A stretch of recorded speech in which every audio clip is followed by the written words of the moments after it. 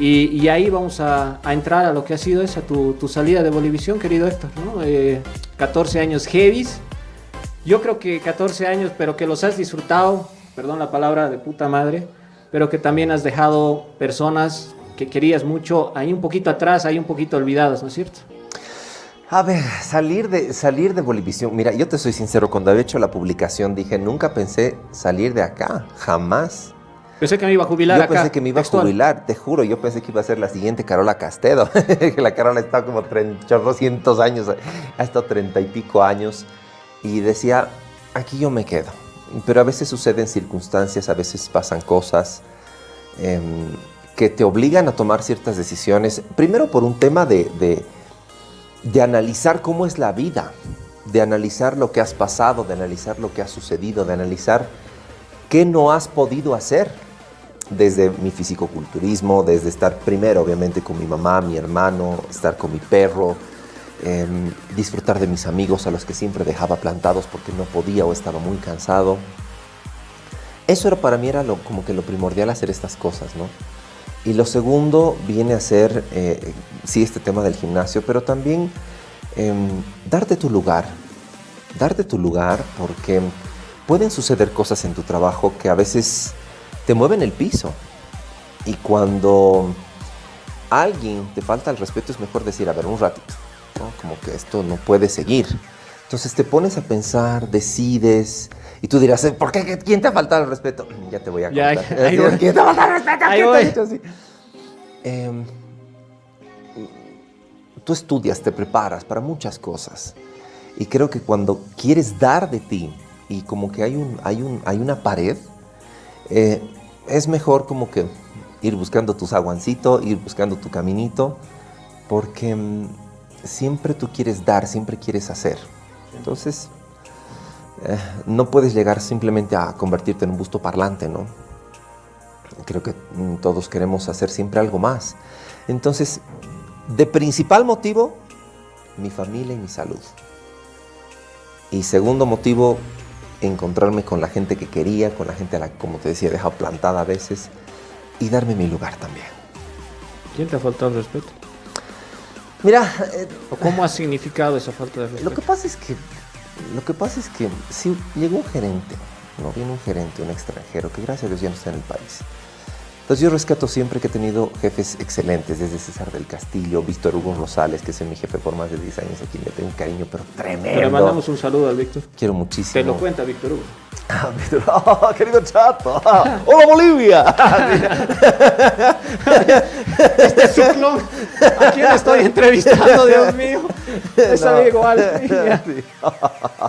Siempre me decía, barriles, barriles. Eh, y Pamela García, que es actualmente la gerente de noticias y que fue mi productora durante mucho tiempo en, la revista Al Día. Llega este señor y como que hay márgenes de cómo tú debes tratar a la gente, ¿no? Eh, no menospreciar su trabajo. Él me decía, tú no eres periodista, o sea, vos eres Kiko, más o menos, ¿no? Y yo, ¿qué? Y yo, no me simpatizas. ¿sí, ¿no ve? O sea, tratando de llevarlo... Siempre tratas de llevarlo por el lado jocoso. Por el lado amable, como decía. Claro, por el lado amable, ¿me entiendes? Por el lado amable, pero em, ya, como que cuando ya se la agarran con vos, ya pues ya no está bien, ¿no?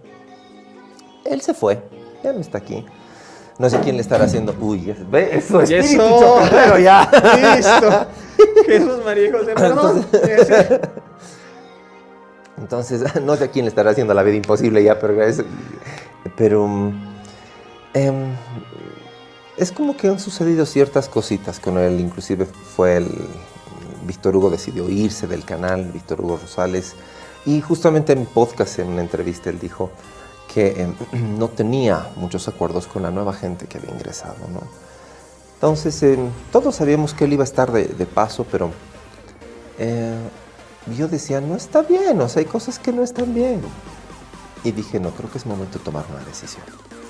En fin, él se fue, él ya no estaba, ya no estaba con nosotros, pero como que algunas cosas quedaron. Entonces yo dije, no, primero aquí está mi familia antes que cualquier cosa. Y me empecé a enfermar. Sí, sí, justo. Me empecé a enfermar y me empecé a enfermar mucho. Y muy seguido. Demasiado, demasiado. En un mes me han dado tres, cuatro, tres o cuatro bajas médicas por tres días, dos días, tres días, dos días. Y era mucho mi garganta y mi estómago. Y yo decía, ¿por qué me enfermo tanto de mi garganta? Una persona me dijo, ¿crees en el tema de, la, de, la, de esto de, de la emoción, de la salud emocional? Y es como que tienes algo aquí, no lo puedes decir. Por eso te enfermas tanto en la garganta. Y el estómago a veces igual. Es como que cuando, o sea, sí, sí, sí, sí, sí.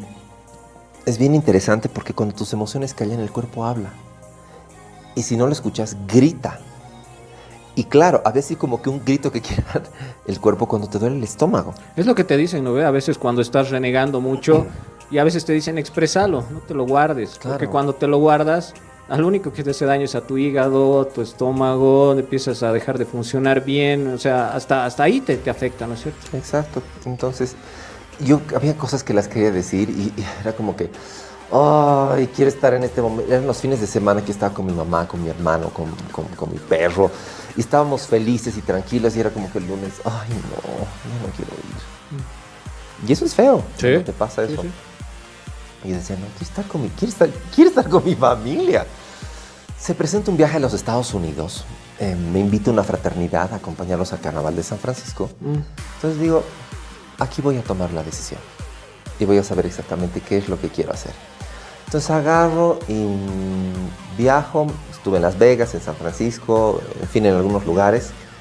Y me fui a la playa, en Miami, con unos amigos. La pensé, la medité, Bien. volví y les dije, creo que hasta acá nomás. Y fue duro. Fue duro, ¿no? Porque fue un, un impacto en realidad para mí, en realidad para mi jefa, para Pamela, especialmente para ella. Bueno, en realidad para ella, más que para, para mis otros jefes. Y ella me dijo, ¿qué? ¿Qué? ¿Qué? qué? Así, no, ¡Estás loco! Despierta. reaccionar. Pero, hechos, creo que es momento de partir. Y como te digo, no ha sido fácil, ¿no? No ha sido nada fácil. Eh, no ha sido fácil porque cuando yo entré a Bolivisión, Bolivisión no estaba en el rating. No estaba, para nada. Hace 14 años. 14 años. O sea, Bolivisión ahí, ¿entiendes? Sí, el Canal 5. El Canal 5. Pero Bolivisión y yo crecimos juntos. Si Bolivisión fuera una persona, te diría que nos hemos tomado de la mano y hemos avanzado. Y que hemos avanzado, hemos crecido, eh, nos hemos caído, nos hemos levantado. O sea, ha sido una serie de cosas y, y- y- como que ambos hemos llegado a posicionarnos en un lugar en el que, wow, qué lindo que ambos hayamos crecido de esa forma. Y lo que queda es que ambos podamos realmente continuar siendo lo que en algún momento teníamos de inicio. Em, ese respeto por la gente, ese agradecimiento. Entonces, eh, bueno, con el canal, es que muchas personas, yo, yo veo que se agarran uno ve con sus canales y dicen, ay, sí, ATV me he hecho esto, Red 1, No me pagaban. qué. Cuando en realidad no tiene la culpa la, la- la empresa, ¿me entiendes? Claro. O sea, y por ejemplo, para mí, yo sé que muchas cosas han dicho de ATV, pero para mí ATV es, es ATV. ATV ha estado en un momento bastante fuerte en el país y es una casa televisiva importante, el nombre como tal. Bolivisión lo propio. O sea, Bolivisión para mí va a ser, si, si pudiera tatuarme Bolivisión, digamos, ¿no? O sea, te tatúas Bolivisión porque Bolivisión tiene que ver más allá de la gente, la gente pasa. La gente, todos estamos de paso. Pero es como que te queda ese lindo recuerdo, ¿no? Donde has empezado, hermano. Yo tenía 19 años, 19, 20 años cuando entraba a Bolivisión. O Por sea, es- pucha, tengo, que, que lo sepan, que lo sepan. Me he choreado el primer cubo que yo tenía, los cubos del micrófono, ¿no? Me lo he robado, me lo he choreado. ¿Quieren decirme que era parte del AMPA? Que me di... Está en mi casa y lo tengo ahí como un recuerdo. Porque era mi primer cubo. Cuando cambiaron los cubos, yo, matanga, dijo la chanca. O sea, me lo llevé a mi casa y lo tengo ahí. Y está ahí. O sea, tengo un, tengo un stand de reconocimientos y es Héctor de Bolivisión. O sea, la gente me casa mucho. Es como a Miriam Claros la han casado tanto tiempo con ATV, ¿me entiendes? y, y- y pasa. Te Es, es- es ese cariño, son esas cosas que nunca se van a perder.